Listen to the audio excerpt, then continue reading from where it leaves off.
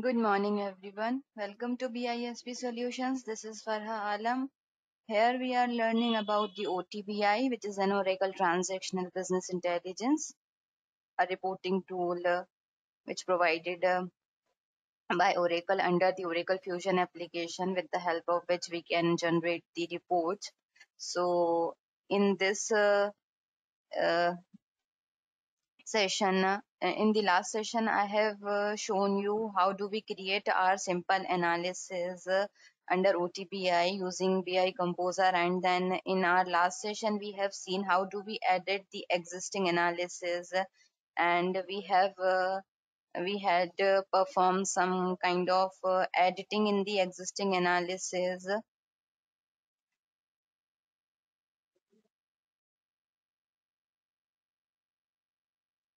we have seen the editing in the existing analysis like uh, how do we sort uh, the analysis and how do we exclude uh, any particular measure from the analysis? Uh, then we have uh, how do we highlight any particular measure in any particular format? So these are the things which we have seen in our last session.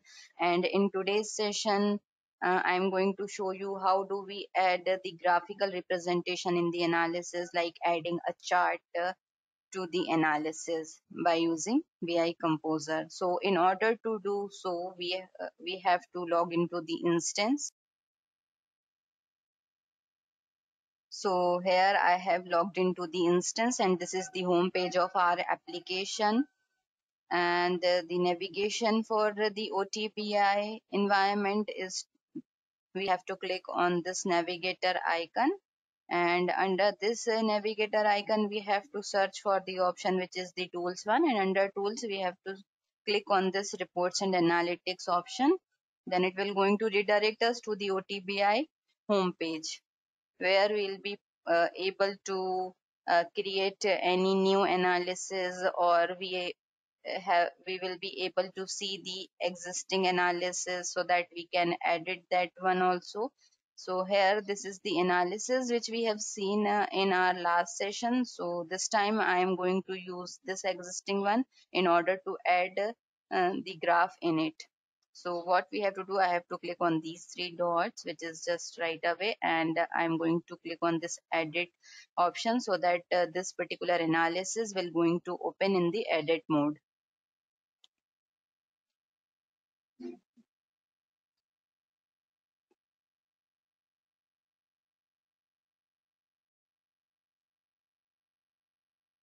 So here is the analysis which has opened in the edit mode. So in order to add the graph in it, we have to click on this next option, click on it. And whenever we open any existing analysis, this preview option has got disabled. So make sure that this preview option is enabled so that we'll be able to get the preview of our analysis. And um, after getting the preview for this one, we have to from here we have to select the graph. And uh, these are the graphs which we have in this uh, OTBI environment. Like uh, we have the bar which is the recommended one. We have line chart area chart scatter chart pie chart line chart. So whatever graphical representation we want to implement in our analysis we can select any one of them so this time i'm going to select this one which is bar and it is the recommended one. So i'm going to select this one.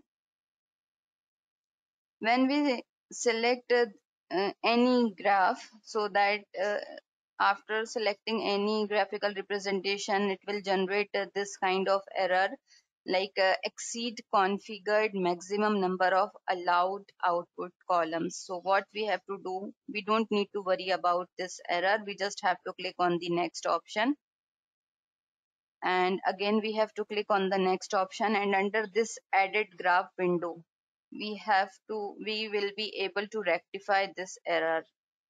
So what we have to do uh, as uh, we have so many measures uh, under this uh, group by clause. So here we can uh, we will keep only those measures which are required uh, in the graphical representation. So uh, i am going to exclude the invoice date. So uh, select this invoice date and click on this move to option and click on the excluded one. So that this invoice date will uh, excluded from the analysis. Same thing I'm doing for the invoice number also and for the invoice description, invoice currency and I want to exclude the site information also. So what information I want to keep uh, in the graph like uh, I want to represent the invoice amount and the supplier information. So here this uh, error has been rectified over here and we will be able to see the graph in the analysis. The vertical bar contains the invoice amount information and the horizontal bar contains the supplier information. After uh, adding this uh, graph, click on this next option.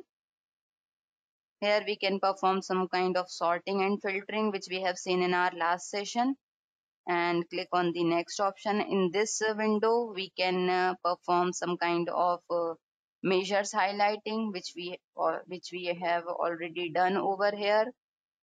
After that, click on the click on the next option. Then it will going to open the window and ask the name for the analysis. So we have to provide the appropriate name for the analysis.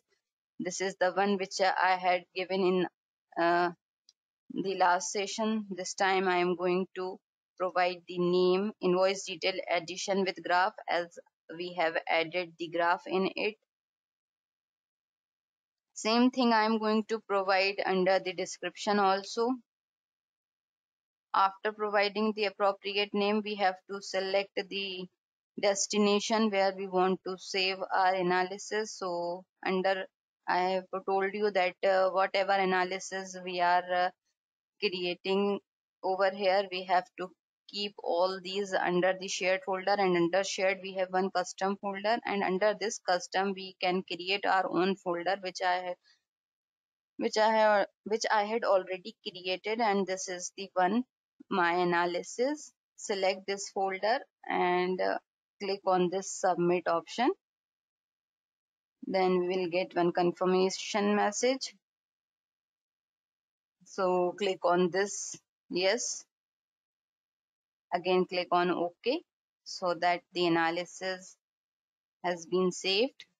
Uh, in order to search the analysis we have to click on this clear filter option and uh, open the shared folder then custom.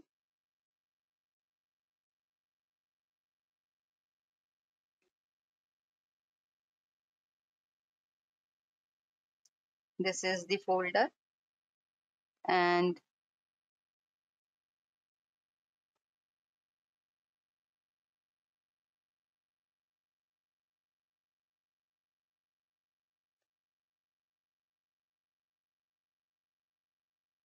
so this is the analysis. Open it.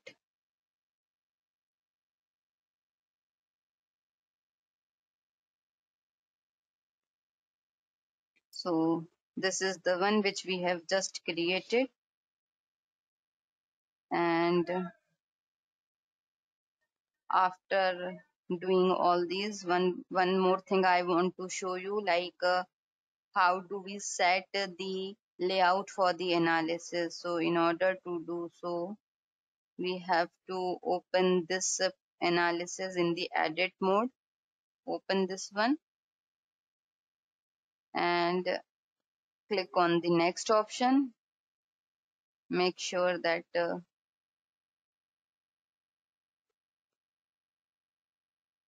make sure that this preview option is uh, enabled so that we will be able to see the preview of our analysis. And this is our analysis. And here we can set the layout for the analysis.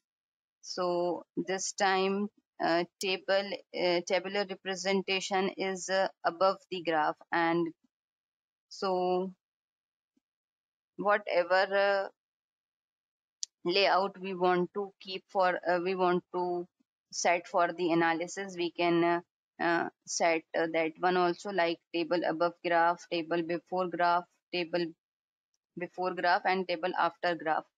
So this time i'm uh, this is this time right now the table is uh, uh, appearing before the graph right? Above the graph. So now i am going to select this one which is table before graph. So that table is appearing so now table is appearing on the right side and uh, graph is appearing on the left hand side.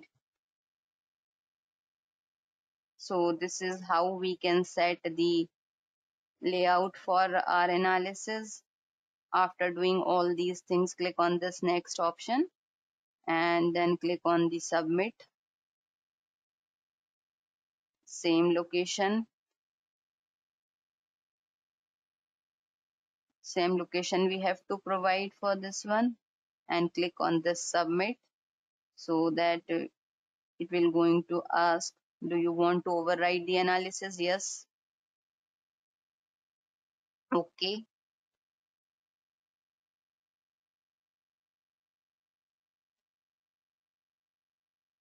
Here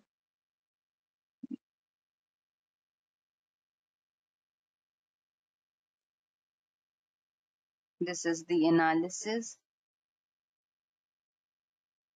which we have just created. This is the tabular representation and this is the graphical representation or more or more specifically a bar graph representation which is the recommended one.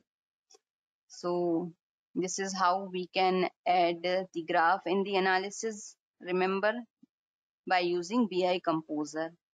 So this is all about how do we add the graph in the analysis and uh, all about our today's session also. If you have any question regarding this please feel free to ask. And in our uh, upcoming session we will going to see how do we create the analysis using bi analysis editor. And uh, thank you everyone for watching